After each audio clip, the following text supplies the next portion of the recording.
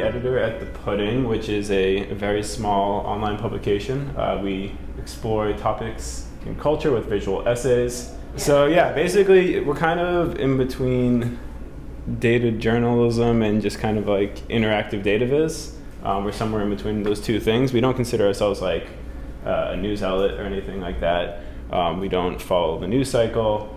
We just kind of explore topics that are data, data driven, that are more kind of culture based. Um, and we'll get into that a lot more in detail. Um, so the pudding, this is our new website, which we are rolling out next week. So it's unfamiliar to anyone that's visited our current website. Um, but as I said, we're uh, an editorial publication. We create visual essays. Um, I can give you a couple examples. So this was actually the first one I did, which was exploring um, the NBA and what would happen if we could jump in a time machine and do the draft over, which is where they select the players each year um, based on how they actually ended up turning out. Um, so if we got a do-over. So it's a visual essay, and so for me that usually means anything from data viz to integrating uh, all sorts of multimedia, um, and just try to tell the story in the most engaging visual way possible. Um, in this case, there's some scrolly telling, and then there's a bunch of charts. Uh, so this is kind of the nut graph chart here. Telling. Can I explain scrolly telling? Yeah, it's just when you scroll. scrolly telling, because he was done. So scrolly telling is just when you scroll and what you normally do on a web page, and that triggers the graphic or the chart that you're looking at to change. Um, so it's really it's just a technique in. Typically, when you scroll back up, does it like reverse, or do you? If done right, yeah. yeah. But it's not always done properly. Uh, but it's uh, so yeah. we we do a lot of scrolly telling uh, at the pudding. It's we're fans of it because it, in a lot of charts like this one, for example, um, if you have buttons or things where people have to click to for the graphic to change, um, you're just gonna inherently lose a lot of people. So when you scrolly tell, they're just performing their natural behavior, right? Scrolling, and then you update the chart. So you're forcing them to see what's important. So it's bubbling up that important content. Um, so this is one such example which relies very heavily on scrolly telling uh, and just kind of breaks down, breaks down the whole um, NBA redraft in a whole bunch of charts. Uh, this one was arguably one of the ones that kicked off uh, the pudding slash polygraph uh, a couple years ago, which was just revamped a couple days ago, uh, which was looking at the largest vocab in hip hop. So it's what it sounds like. It's analyzing uh, rappers' vocabularies um, and comparing them. Uh, so this was done by my coworker Matt Daniels. So you can just kind of see which hip hop artists you have the most diverse vocab in their lyrics. Um, on the other end of the spectrum is something that's less story driven and more just kind of exploratory. So this is more of like a tool that lets you look at population density across the world um, in this kind of 3D map. So instead of just doing a choropleth or something, uh, Matt used physical like extrusions in 3D to really get a sense of the density um, all across the world. And you can see how it like changes over time and all this type of stuff.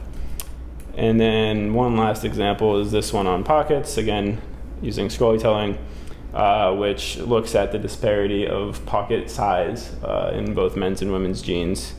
And basically, it's not fair that men have much uh, bigger pockets and they can fit a lot more things. And this kind of explains uh, how they went about their method and lets you kind of explore different items and which ones fit in how many different jeans. And so this is a pretty interesting story done by Amber Thomas and Jan Diehm.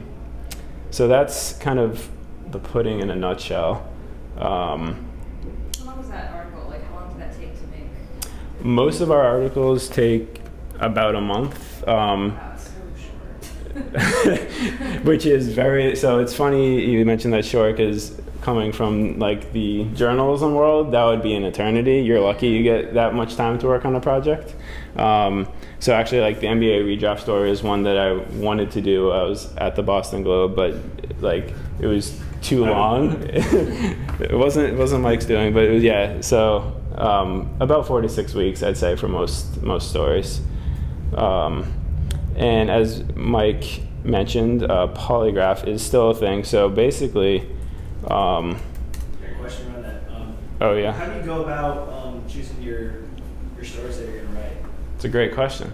Um, it depends on the month. So we, we really experiment. So we're a small team. We're about six people uh, full time, and we've been, I guess, we've been. It, this is two years. We've been a publication for two full years now, and we have been experimenting with all sorts of different editorial processes.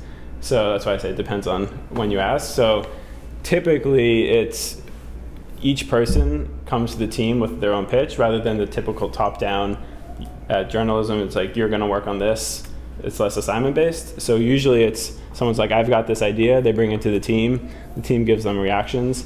And there's almost no like full uh, control from anyone. It's just pretty flat so i won't be like you can't do that. It's it's usually okay this might not be my favorite thing but just like go ahead and do it. And we haven't yet shut down a story. We, like we haven't been like, no, you can't work on this. So um, we just check in pretty regularly. So we consider most of the stories we work on like passion projects because everyone is just bringing whatever they want to work on to the table.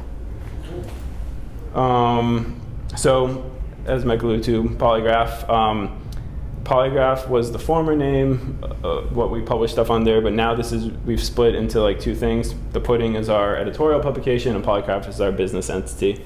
Um, so the way we make money is not on the Pudding. The Pudding is ad-free, no subscribers, um, and Polygraph is our kind of client's arm. So we do work with uh, like Netflix, a lot of work with different uh, branches of Google and places like that and do the same kind of stuff, um, but just for them. So you, a lot of times it's kind of PR based stuff. Sometimes it's in internal things, but um, it's the same same thing, but they're kind of two separate entities. Um, if that makes sense. What is that process like? Which part of it? like, I, I don't know, like gathering their what they want to even show and like their requirements of it, and like what is that whole I'm sure you also tell them what works, what doesn't. Yeah. It really depends on the client and the project. So sometimes people are like, we want this thing to get picked up by the New York Times and we want it to be super flashy and they, that it's a much more prescriptive. And sometimes the better stuff is like, oh, we have this data set. Can you please just make something with it and we'll go with what you say. Um, so it re it's really all over the map. Um, but obviously the more enjoyable stuff is when it's less prescriptive and we get to really put on our creative hats um, and especially when like if there's already something in mind that they want but they haven't really explored the data it can get a little there's some tension there right when they hope it looks like this but the data maybe just doesn't support that so it becomes this kind of gray area and so that's the i think that's the the biggest thing we we have to deal with in terms of working with clients is how to make them happy, but also like be true to what the data is actually showing. What's the design process like? With, client projects? Yeah. Uh, depends on the client, uh, but typically uh, we try to work as much in public as possible. So instead of just doing a bunch of stuff and then coming back with this big reveal at the end, we like to just constantly be showing them exactly where we're at. So even if it's a rough prototype, just really kind of keeping them in the loop. Um, and from a design standpoint, uh, we usually will mock up very early on a few possibilities to really get a sense of what they're interested in. We're really big fans of mood boards, like kind of giving them a whole bunch of things like, do you like the look and feel of this to really uh, get a sense of what they're looking for. Because sometimes they'll say one thing and then when they see something else, they'll kind of shift a little bit. So I think that's we try we try to cross that off as soon as possible. do you do any exploration as to who would be who's going to be viewing this in terms of like user? The audience. The, yeah, the audience. Yeah. Um, not really.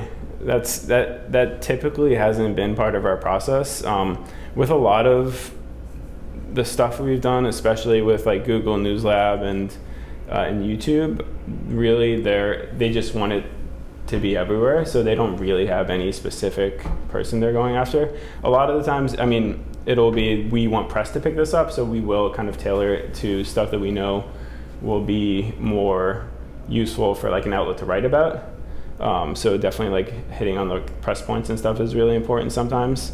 You know, like what is the takeaway if I had to distill this, or like what's that one chart that I can share, like an image form that will really describe the story. So sometimes I feel like actually um, press pickup is more of the focus for some of the client work we do.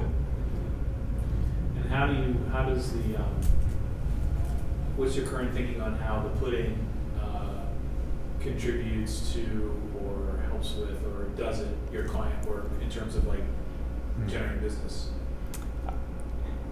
I can't say anything quantitatively, but um, I have to. I fully believe that whenever we publish a good story on the pudding, it indirectly serves as marketing for Polygraph. Um, I'd say I don't know have an actual number, but like you know, a, a, couple stories a year we, we put out, they get some pretty good circulation, and then there's always like a bunch, a trickle of emails that are like, hey, we want to work with you. We saw this project. So sometimes they will specifically say where they came from and how they found us. Um, sometimes it's a little more ambiguous, but um, so far we found that they seem to be, it seems to be a pretty symbiotic relationship. So cool. yeah, I mean, I knew that was part of it originally, at least, and I wasn't sure if that was still holding up. yeah, it sounds like it is. It's definitely still the case now, and um, I mean, at least from a strategy standpoint, we haven't we haven't changed. Like the more we we feel, the more we can put out stories on the pudding, the better that represents polygraph and gets polygraph out there as well. And I think we've we've, we've done a lot to try to distinguish the two because there's a lot of confusion early on, especially when things on the pudding actually had like polygraph logos, and it was very confusing. Um, but I think we've distanced ourselves a little bit where it's a little clear where you go for which thing. See, that's what it is. See, if you want to know what Experience Magazine is, it's the pudding. Eastern. There So, you go. um, there you go. Plug. so this was uh, the most recent one I published, which is what it sounds like. It's it's a chart about the world through the eyes of the U.S. So basically, I really like this story because it actually was the first story I think I worked on here that wasn't actually my idea from the get go. Um, this was actually piggybacking off of another project we recently published, which is right here by uh, Ilya and Jan, called A Brief History of the Past 100 Years. And so, what Ilya did was he had this idea to look at New York Times headlines because they have this amazing archive where they have their headlines going back to like 1850 or something, maybe even further. 1850 probably. Um, and they have every single headline for every story that was ever published. So he wanted to do something that looked at those headlines. Um, and so his idea was to try to create this brief history to see what type of places or people were being mentioned, like what the most interesting keywords were, how did that change by decade. So I thought that was really interesting. Um, and then part of our editorial process is we have this thing called uh, story time where someone pitches their story and then the team goes around and gives reactions or like maybe like what ifs like what if you did this or this um, to kind of give them some other uh, possible directions. And so my what if was i was like oh what if we just looked at countries? Like that could kind of show us a little bit of how the us is thinking about policy and how that changes over time. Um, and he liked the idea and we decided he didn't want to incorporate it into this thing so i was like oh i could just create a little companion story um, and we can kind of work on it together since you're already working on the data. Um, so that's what we did. And I just kind of took it and ran with it.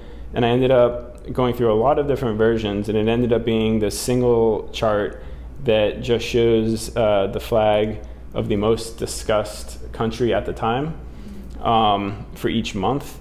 Um, and so in this version, as you scroll, it just kind of highlights a row. There's some annotations to point out some significant moments. Uh, on the left hand side, you have some example headlines from uh, the top couple years or top couple months each year to get a sense of what is actually happening in the data.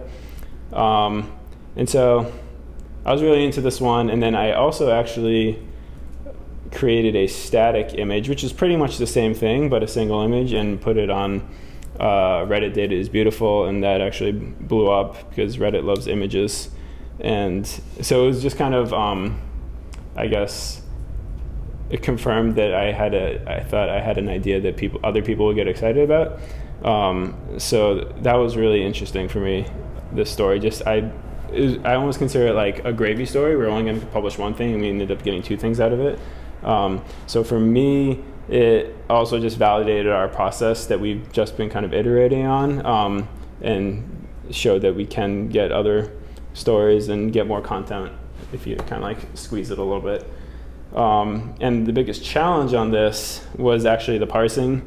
So entity recognition on the country level, I thought it was just going to be really straightforward, but apparently it's a little more involved um, because there are the official ways that places are described. Then there's more colloquial expressions. Then there's like acronyms, right? So the U.S. could be United States. It could be U.S. Um, there's the I always pronounce this wrong. The demon, demonym, so referring to like the people. So in Ireland, right? It's Irish, and so I went to kind of capture all that. Um, so I had to go through a few rounds, and none of the entity recognition uh, libraries out there that I looked at, like Stanford NER, there's a few things. They don't really capture the full breadth of possibility. Um, so I did a few rounds of like refining my, my scripts that would produce the results and then actually going in and manually spot checking as much as we could to be like, oh, we missed this or this is false, you know, false positives. Um, so like, uh, what was it? Uh, the country India, right? Like that could be confused with if you say Indian, that could reference Native American Indian. So like it gets a little, it gets very complicated. uh, and I think it ended up being, so it says 740,000 section headlines. Um, I think we got it down to like 40,000 that matched on name. So it was quite laborious from a manual standpoint. But Wait, you looked at all 40,000? I initially was planning on it. We didn't quite get to it, but we I, we basically we kept looking at it and then refining the script and got it to a place where it was like good enough. So this is definitely not perfect, but um, it's basically we kept refining it and the data stopped changing. So at that point, it was probably like close enough to like even if we got it perfect, it might not actually influence the end result. So. Right. Um, was the searching constrained to like A1 section front deadline? This was also just page, uh, so not technically A1, it's all section fronts, so it wasn't just like the main front page. Um, I was actually going to do that, but uh, it turns out that it just weren't able to uh, classify as front page versus uh, section front in their data. Um, the whole seat at the bottom? Oh, yeah. What do you think happens? It goes US. Well, oh, so this is everything not U.S. So this is the, this is uh, framing it from the U.S. perspective because okay, it's that makes more sense. How come there's that year that's all grayed out? Uh, yes. So no data. Data issue. They're fixing it. I'm hoping they're, I'll be able to update this. Um, there's a couple other gray spots where there just weren't enough results. Um, so I wasn't confident yeah, putting. What's the year they went on strike or whatever? Oh yeah, that was a crazy one. 1978 uh, or was it 78? Yes, I believe it was 78 for these three months. Uh, there was no paper printed. Yeah. Blew yeah. my mind. I was yeah, like, I was like, oh, there's a problem with your data. Yeah. And the and the guy from the New York Times was like, oh, there was there was a strike. I'm like, wow, I learned something. What's, so what's that time with the influx of Japanese? Yeah. This one down here. Down, yeah, a little more. Sorry. This is the 90s. I think. Um, someone I was reading all the Reddit comments. Someone I think said this might have been when there was uh, an Olympics in Japan, oh. but that also seems like a long period of time. But also, it could just be like this could be plenty of reasons, right? There could just be a lot more business interest in something that happened with Japan at the time. I'm not a history buff, so. There was that period when people thought that Japan was going to like surpass the U.S. in terms of like in the mid '90s. Power when robots were around. So yeah, for the most part, what you see obviously are a lot of uh, international relations or uh, war. So obviously, this is um, Iraq in the early 2000s dominated. Um, a lot more recently, super China heavy, which I think is just all much more economic driven. Um, but yeah, so I think this one was interesting because it was a really good jumping off point for people that like that are interested in the various uh, phases of history to actually use this as a a launch board for a discussion. Um, so an individual is kind of tasked with both collecting that data and then building a visualization. Yeah. So I also didn't mention how we usually operate. It's it's usually uh, everyone on our team is kind of a jack of all trades. So everyone's able to do the everything from the the story to the writing to the data collection to the visualization and design. Um, we have started collaborating a little bit more over the past year or so, but um, for the most part, yeah, everyone does everything themselves, which is then a little more atypical from newsrooms, which are a little more siloed. Um, the thing that also was very interesting that I, uh, which was a big discussion in, in the comments, was uh, more of a content standpoint, the use of modern flags versus the uh, flags at the current at the time we were talking about. So a lot of people actually wanted Germany in the early whatever was it, early 1900s or the sorry the 1940s to have uh, you know the, the, the swastika with the the one that represented the the flag of the time period. Um, and I saw a lot of good debate on that. We made the decision to go with the modern day flag because it's just much easier for to or us to identify what current country is referencing, even though the context has changed. Um, but those are always things that are very are revealing after you publish something. 'Cause So you guys probably never thought about it while you were doing it, or did you? it crossed my mind, but it Yeah. didn't. It, people made a much bigger deal of it after the fact. Um, where to me, it was, I was like, I don't know what half these older flags mean. So, and the whole point is to look at this and understand what it's referencing. So, Yeah. I completely, Yeah, obviously from a data standpoint, it's, yeah, you guys made the right decision. yeah. How did you disambiguate um, like Soviet Union news? Did that get lumped into Russia? Yes, so that was another one. So that was also part of the data processing. I had to, I had to rely on a few people that had a little more uh, insight into historical. So luckily, there's a great Wikipedia that has like the uh, flow of country names. So some, countries have gone through like name changes, or they they've split into multiple countries, or they've joined into a single country. So there was a lot of that involved in, in the data processing as well. Um, but yeah, like Soviet Union, it was is considered Russia in this this database. Um, but yeah, so that was the most recent project I, I worked on. I suppose. I like that too. It's just like it's it's. I mean, it's um, it's like kind of it's one aspect. You know what I mean? It's like one kind of pretty narrow thing, but it's also really telling and interesting. You know, I feel like it's a little bit different direction for you guys to some degree. Like I feel like you guys have generally had like things that had like we're making like multiple points, and now it's kind of like making one. Is that is that new, or am I just not looking at enough of your stuff? Um, yeah, so we definitely like self pigeonholed into we called it like the three chart story. Yeah. Um, and we've been trying to get away from that as much as possible and not just get away from it because not that it doesn't work or anything, but you can tell a great story with a single chart or 30 charts or, or like I showed you with this one, this one was just one big scrollable interactive and this performed tremendously well. So I think we just want people to work on something that excites them rather than try to fit it into a specific format, especially because that's just more fun, right? Doing the same thing over and over is can be a little uh, constricting. Yeah, I like the mix of the scale of information. Like you'll go from a very global, like throughout the history of to then pockets. Yeah. Um, Do you have any design process around like how you come up with your visualization, like stuff like the pocket size thing? You can't fit that into a standard graph or anything like that. Yeah, um, we don't have any formal process. Some uh, like depends on who you ask. So my personal process is to get into prototyping and just start making something as soon as possible because my decision changes pretty quickly once I see stuff in action. So for that flag story, um, initially the chart was actually just going to be a spinny globe, um, and I thought that was the best thing. Um, and then I actually put the data in. I was like, oh, the globe is just staying there and not moving, and it's really boring. So for me, prototyping and just constantly iterating is the best way for me to get like figure out what to do. Um, there are some people, so like Matt just jumps right into. We use Figma. Um, he just jumps right into that and really just creates like high fidelity mockups because he already knows in his mind what he wants it to look like. Um, so it depends on on the person, I think, and what what works for them you include any user feedback around that?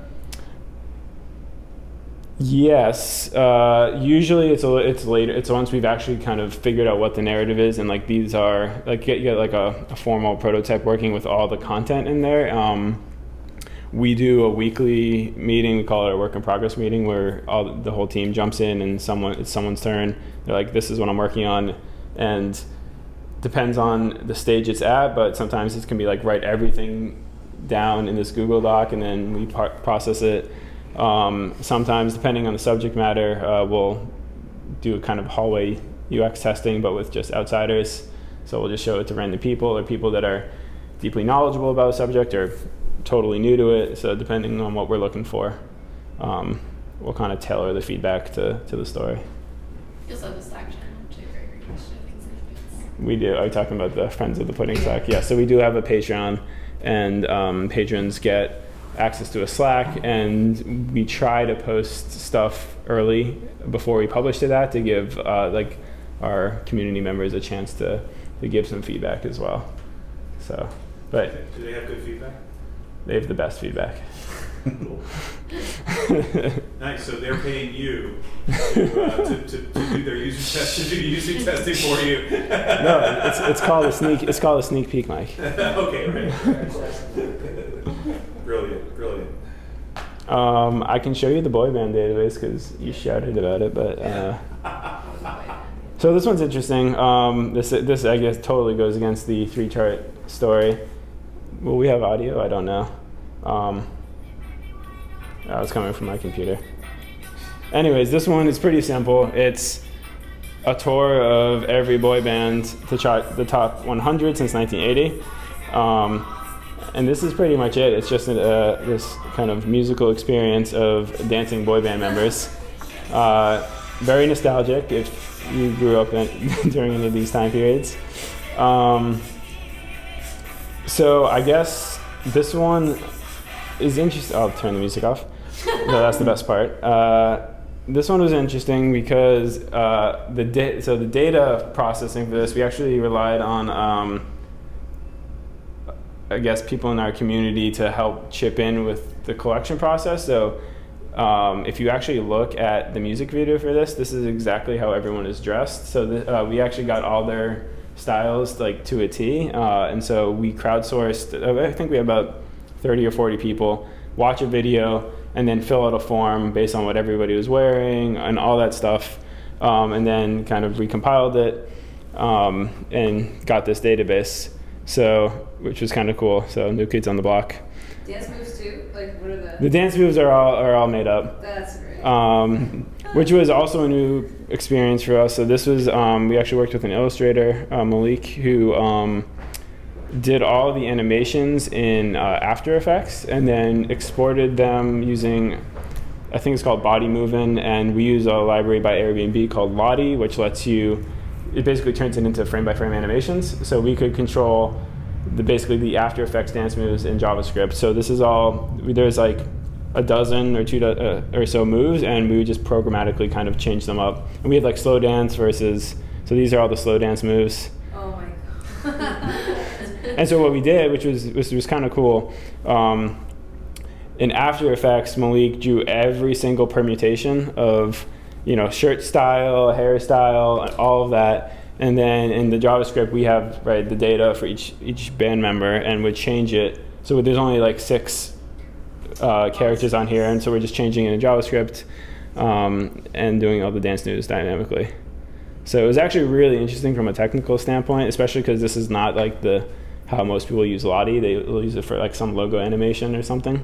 Um, How did you figure out to do it that way? Was it just like happenstance because you made it in After Effects and you're like, oh, we can like. We we went in reverse. We're like we want them to dance, but we also want them to change. And then we're like, well, what tech is available out there that can help us do this? And we found Lottie, and we're like, this, and we did a couple experiments to see if it could if you could like change it. And then so like all the all the coloring um, is totally done with it's just all CSS. Um, so yeah, it was it was definitely a really interesting technical experiment. And then I think I'm I'm inappropriately using Google Analytics as a uh, faux database to store the you can rate um, a band uh, if you like the band or not. Um, so it, that's actually those those numbers are coming from Google Analytics. So that's like a, a tracking event, and then I have a script. Actually, I think it's just with um, Google Spreadsheets. You can have it spit out um, stuff into a Google spreadsheet, and then I'm with a cron job turning that into a JSON file. So now we know that 86% of people have voted that they like this band. Um, so that was another interesting experiment. It's working. I think it goes against their terms of service, but um, it was a small scale experiment. Uh, do you have a specific band you'd like to see?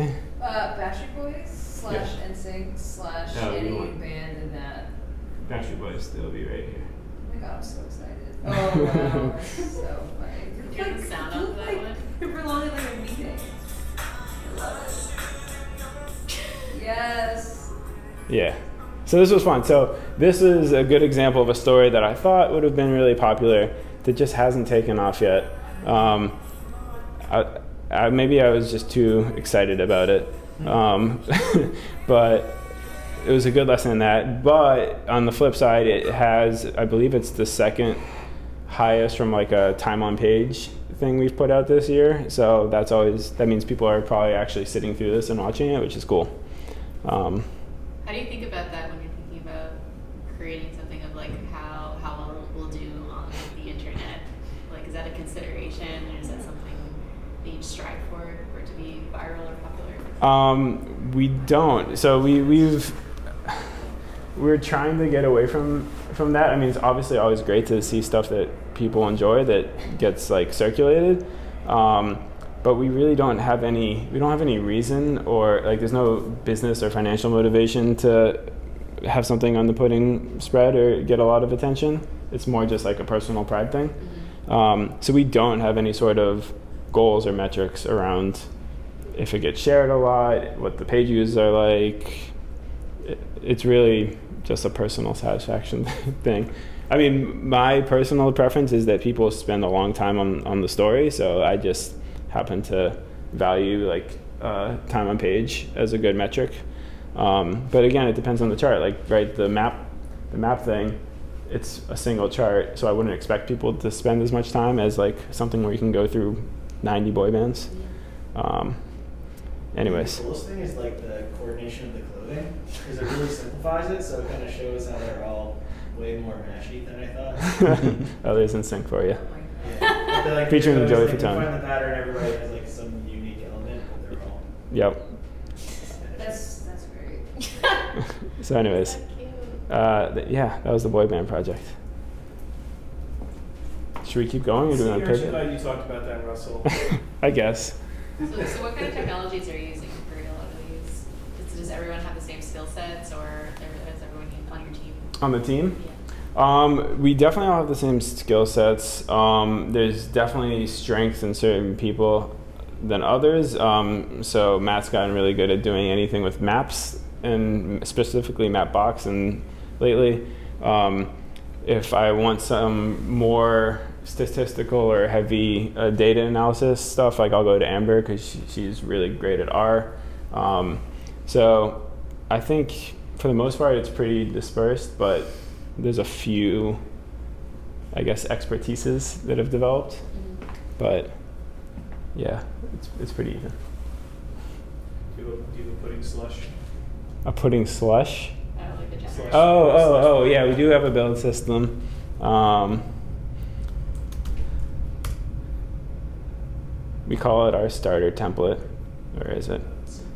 So we use kind of like every every newsroom has their own little kit for creating stories, so you don't have to you know reinvent the wheel each time.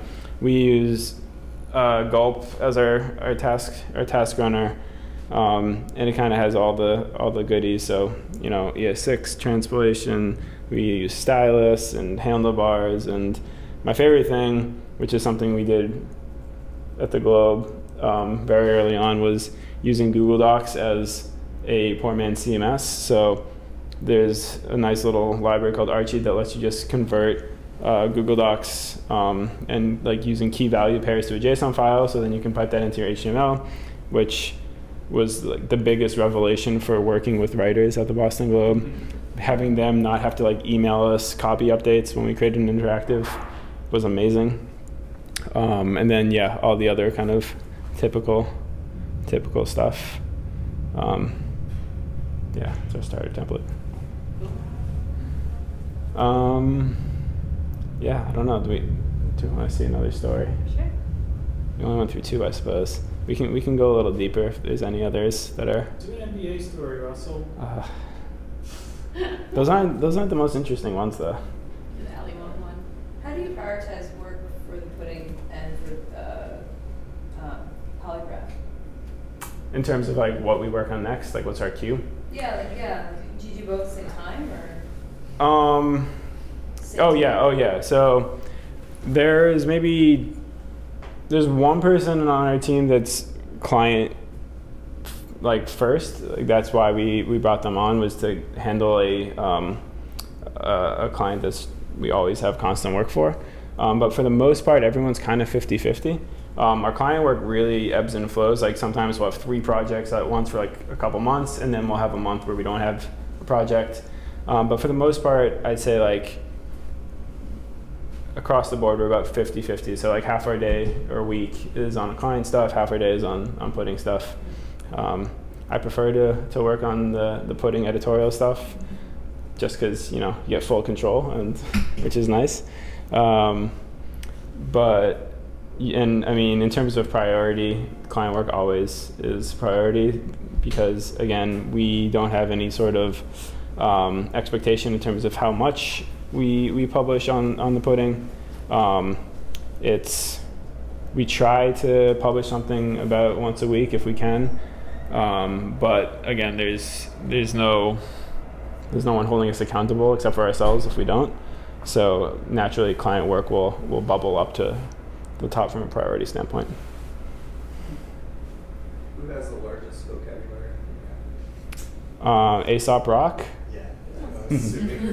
Even though I think he just updated it, and I think Busdriver. I don't know who that is. So he's. Aesop Rock, and then Busdriver. Or a question. And then, which every, everybody loves, the Wu Tang button. Everybody in Wu Tang has great vocab. I can do one more story, I suppose. Um, not an NBA story. Let's see. What about life after uh, death? Ooh, okay, that one's a good one to talk about. So technically, you can go on our YouTube channel and watch me code this from start to finish, the entire process. Um, for some reason, I decided to to do. We, we got into doing some YouTube streaming of like behind the scenes stuff for uh, our patrons this past summer. Um, and so I just wanted to like record the whole process. So everything from like the data collection to the prototyping to the design, oh, that's all in there. Um, so this one, I guess I'll show the story first. Um, but basically, the premise is looking at page views uh, on Wikipedia after someone passes away, specifically celebrities. Um, and so it starts with some storytelling um, by putting just page views in context by uh, Beyonce and looking at a spike in Beyonce's traffic, which was when she released Lemonade. So it just kind of grounds the whole thing and like, okay, this like page views change when something happens. Um, and then it puts it in perspective by introducing uh, Prince. Uh, he actually ended up dying around the same time, and it rescales it and shows you just how much greater uh, the page views effect was when Prince passed away versus Lemonade, which is now just almost looks normalized. Um, so that kind of introduces the topic of how significant it is, and then it, this is the the data set um, of the day or the 48 hours of all the people after they passed away. Um, so you can, if you're not familiar with them, you can. Oh wait, then I put it in some more context. A lot of storytelling here.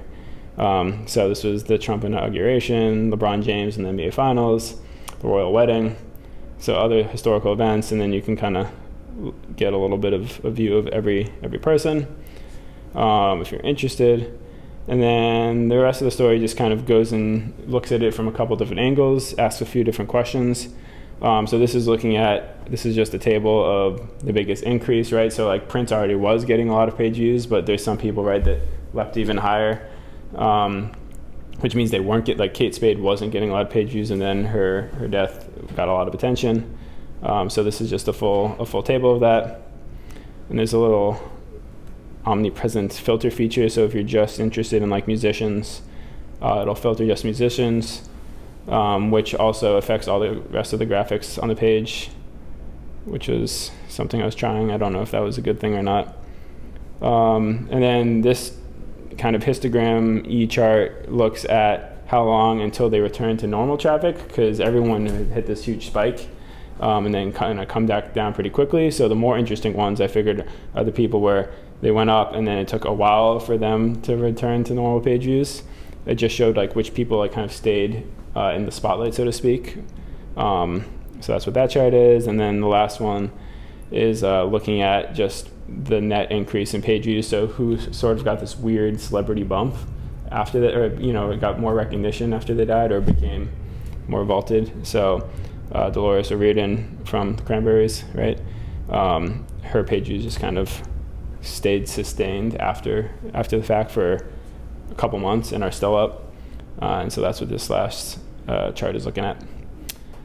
And that was that one in a nutshell. I think the story is interesting to me uh, because the only reason we decided to work on this in the first place is because Wikipedia reached out to us because they're like, oh, we have this um, page that we like want to showcase uh, uh, work that people have done. We've done a story in the past using Wikipedia data.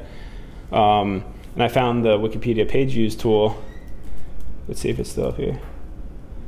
Wikipedia.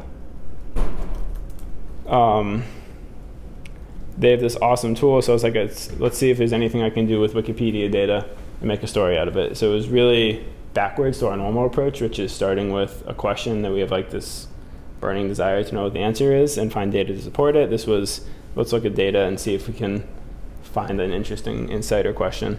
Um, so this was a really cool tool. You can actually look at like what the top page views every day are, every month.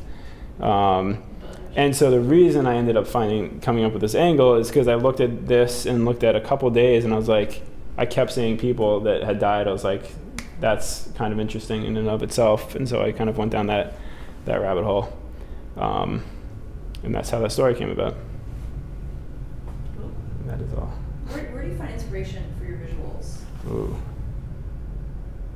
Like that chart towards the end that had, you know, like the spikes. I'm not sure how to describe it. It's like Uh, it's in. the thumbnail. It's in. It's uh. It's miscorrectly called a joy plot, um, because of what was the, Joy Division. Um, it had an album cover Oh, that no. ha- something like that. It's I'm blanking on what the actual term is. Uh, um, going yeah, back. that that image. Oh, yeah. Like that chart. Like, what, like, you know, like where do you? So this actually was specifically uh, a fad for a couple a couple weeks or months on on Reddit. Data is beautiful. Uh, a few people made charts in this fashion. I feel like that happens a lot on if you ever go on Reddit. Data is beautiful. Um, like certain charts will kind of become in favor, and then everyone will produce them.